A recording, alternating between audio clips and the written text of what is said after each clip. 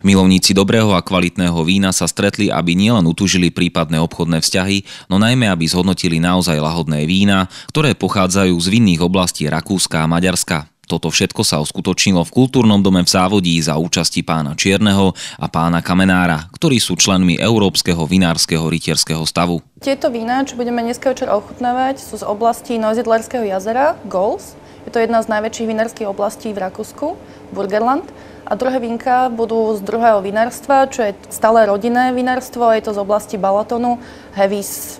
Toto rodinné vinárstvo funguje už 5 generácií a najnovšie si kúpili e, nové vinice, ktoré vystávali nové vinice v Maďarsku. Je to 5. 6. rok, čo tam fungujú a v roku 2013 a 2014 boli ocenení ako najlepšie vinárstvo v Maďarsku.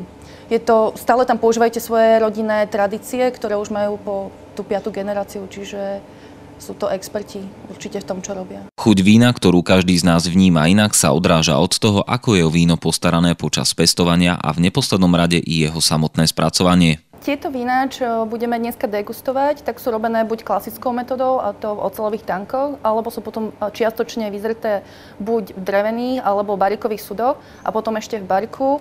A to buď v európskom, čo je napríklad najviac, čo máme, je francúzsky, alebo je to americký barík. A rozdielnosť medzi nimi je len tá, že ten americký barík má v sebe prenikavú chuť vanilky. Čiže ten barík je o moc výraznejší oproti tým európskym barikom. Každé víno, či už biele alebo červené, suché či polosladké, sa hodí k rôznym jedlám. Vo všeobecnosti platí, že biele víno by sa malo piť k bledému mesu a červené k tmavému mesu.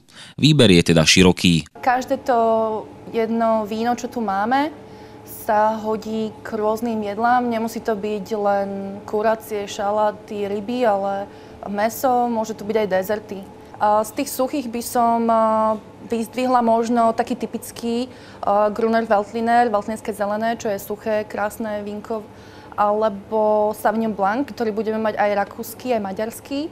Ten rakúsky aj maďarský sú odlišné. Ako som spomínala, tie maďarské vína sú viacej suchšie z tých bielých.